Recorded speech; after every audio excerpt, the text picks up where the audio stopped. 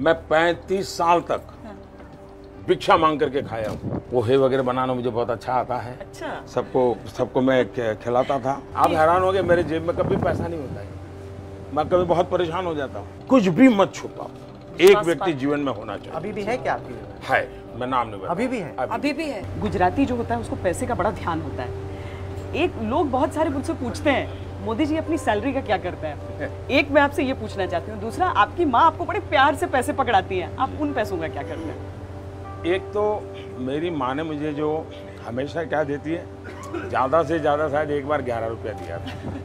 ज़्यादा से तो नारियल और मिश्री मिली थी। ज़्यादा ज़्यादा। लेकिन एक बार उसने मुझे पाँच हज़ार रुपये दिया। अच्छा। पाँच हज़ार रुपया। तो मैं सरप्राइज़ था जी। और उस समय अहमदाबाद में चीन के राष्ट्रपति आए थे। तो सुबह मैं जन्मदिन था तो माँ को मिलने गया। तो उसने मुझे पाँच हज़ार रुपये दिए। मैं कहा माँ क्या बात है? तो बोले ये कश्मीर उस दिन उस समय कश्मीर में बाढ़ आई थी। अच्छा। तो माँ ने कहा कि उनको दे देना। तो मैं इन पैसों को कहीं ध्यान तो नहीं रहता लेकिन दे देता हूँ फिर बता देता हूँ कुछ कर लेना। और आपकी आप हैरान हो गए मेरे जेब में कभी पैसा नहीं होता है। मैं कभी बहुत परेशान हो जाता हूँ। हर एक एक बार मैं कहीं गया तो कोई कार्यकर्ता रिसीव करने आएगा मुझे मेरे पास पैसे नहीं थे। जो रिसीव करने वाला आना था वो बेचारा पहुँचा नहीं। मेरे पास पैसे नहीं थे जहाँ जाना था उसका पता नहीं था। ऑटो रिक्शा को पैसे दूँ क्या करूँ? मैं खड़ा रहा बड़ी देर तक। जब वो आया तो बाद में उसको लगा कि तो मैं चला गया हूँ। तो मैं प्लेटफॉर्म पर बैठा रहा। दो तीन घंटे के बाद मेल बैठा। तब जाकर मैं पहुँचा। पैसे वैसे रखता नहीं मैं। आपका बेस्ट फ्रेंड फॉर लाइफ कौन बी एफ़ एफ़ जब मैं संघ का काम करता था, तब एक लक्ष्मण राव जी नामदार करके थे, वकील साहब हम कहते थे, जिनके जीवन पर मैंने किताब लिखी है। तो मेरा मन करता था कभी कि मैं उनको कहूँगा कि ऐसा हुआ। लेकिन मेरे जीवन का एक नियम है, जो शायद आपके दर्शकों को भी काम आ सके। जीवन में एक व्यक्ति ऐसा होना चाहिए उसको पता नहीं होना चाहिए कि आपके जीवन में उसका वो स्थान है। आपके मन में अच्छा विचार आया तो भी बता दो बुरा विचार आया तो भी बता दो अच्छा हुआ तो भी बता दो। कुछ भी मत छुपाओ। एक व्यक्ति जीवन में होना चाहिए। अभी भी है क्या आपकी है।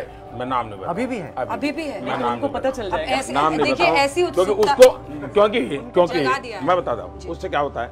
फिर वो कॉन्शियस हो जाता है। फिर वो अपनी की बातों को अभी तो वो क्या मैं बताता हूँ तो कोई बताने के लिए नहीं जाता हूँ। बातों बातों में ऐसे कह देता हूँ ऐसा हुआ है। अब गेसिंग गेम बड़ी ज़बरदस्त देश भर में शुरू हो जाएगी। कि कौन है तो हर एक के जीवन में होना चाहिए मैं कहूँगा। और आप देखिए वो व्यक्ति ज़रूर नहीं कि बड़ा हो पढ़ा लिखा हो कोई ज़रूर नहीं है। कभी आपको ऐसी चीज़ बता देगा जो कभी शायद बहुत बड़ा पंडित भी नहीं बता देगा जो आपकी ज़िंदगी का रास्ता बना देगा। वकील साहब का नाम भी मैं इसलिए बताता हूँ कि अब वो जीवित नहीं रहे हैं।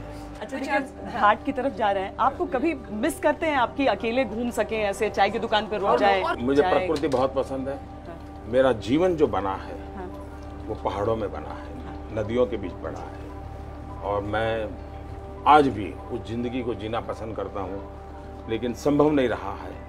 और मेरे पास त्याग करने के लिए कुछ है ही नहीं। तो यही है मेरे मेरी अपनी इच्छाएँ।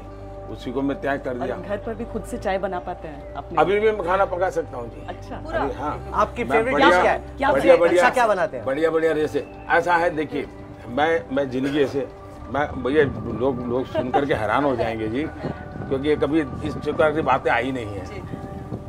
मैं पैंतीस साल तक भिक्षा मांग करके खाया हूँ। अब किसी के गले नहीं उतरेगा ये लोगों के घर में।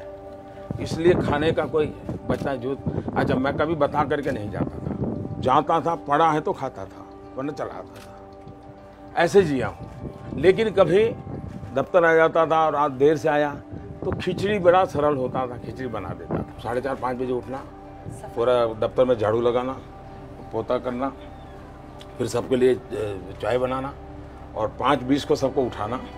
फिर हमारे यहाँ एक आरएसएस में प्रातः स्मरण होता है। तो प्रातः स्मरण होता था। सभी महापुरुषों का स्मरण करते हैं। फिर सबको चाय परोसता था। उसके बाद शाखा चला जाता था। फिर आकर के सबके लिए नाश्ता बनाता था। तो पोहे वगैरह बनाना मुझे बहुत अच्छा आता है। अच्छा। सबको सबको मैं खिलाता था। और फिर कोई दस बजे स्नान करता था। फिर मैं डाक पढ़ता था अखबार पढ़ता था। और फिर किसी के घर खाना खाना खाने के लिए चला जाता था। तो ये मेरी ज़िंदगी रही थी। ये ऐसी ज़िंदगी मैंने कोई दो ढाई साल बिताई थी।